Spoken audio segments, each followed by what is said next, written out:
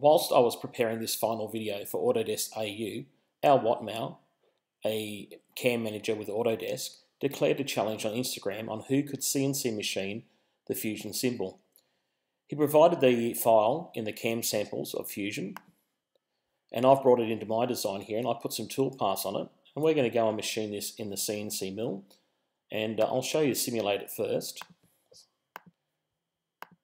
Let's simulate these toolpaths. We'll turn the stock on. We'll leave the toolpaths turned off. So first of all, we're using a 3D adaptive clearing.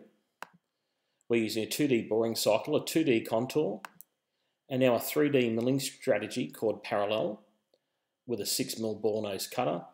And we'll speed it up a little bit. And you can see it come to life before your eyes. All right, let's go to the mill and let's watch this uh, cut out.